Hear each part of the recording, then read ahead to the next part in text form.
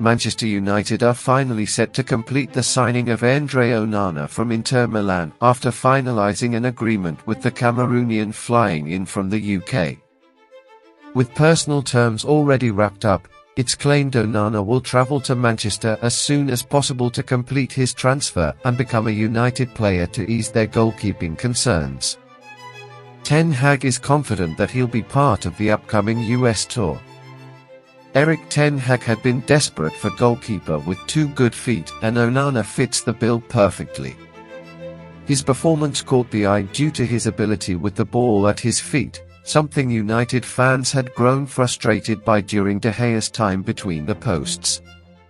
The performance against City in Champions League final only goes to show this quality in Onana as not even Erling Haaland charging in his direction could faze him and force an error.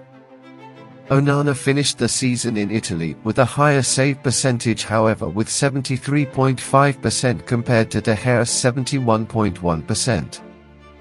The real difference comes between passing comes from long distance passes, as the Cameroonian completed more than 10% long passes than his Spanish counterpart.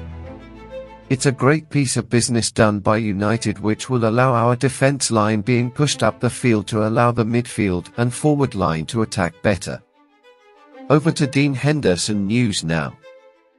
Nottingham Forest are edging closer to the signing of Dean Henderson from Manchester United now that Onana is set to join them soon.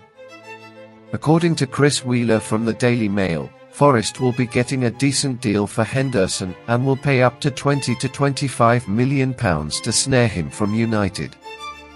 The goalkeeper was on loan at the City ground during 2022-23. Henderson proved an astute piece of business by Forest. He made 20 appearances for the club and kept 6 clean sheets, the most of any goalkeeper outside of the top 6 during that time.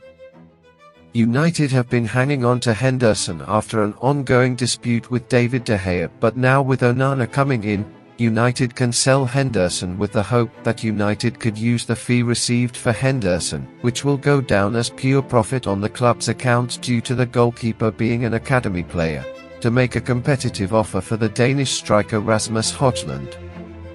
Thanks for watching.